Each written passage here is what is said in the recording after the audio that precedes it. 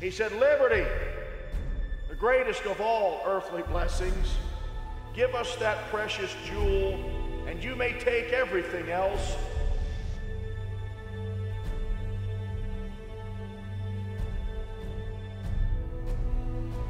Much of the history that you have heard has been preserved for us by Robert Baylor Semple.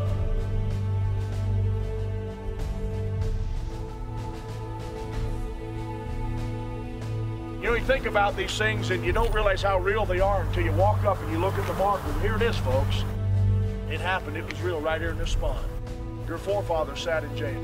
If we're going to understand what we as Baptists should be doing, it would really help us to understand and start to read the writings of John Leland.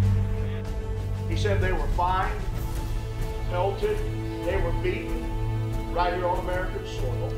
They were imprisoned, they were poisoned, they were hunted with dogs. Their congregations were assaulted. James Childs, Elijah Craig, Samuel Harris, James Ireland, John Pickett, John Weatherford.